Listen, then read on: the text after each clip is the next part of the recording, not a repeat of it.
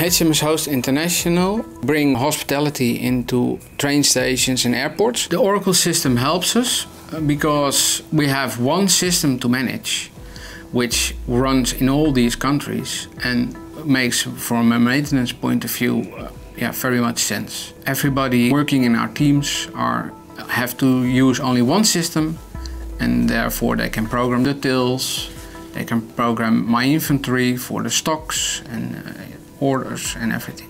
Yeah, having one company to go to is a, a big advantage because they make sure everything integrates and you don't judge between two companies or three companies.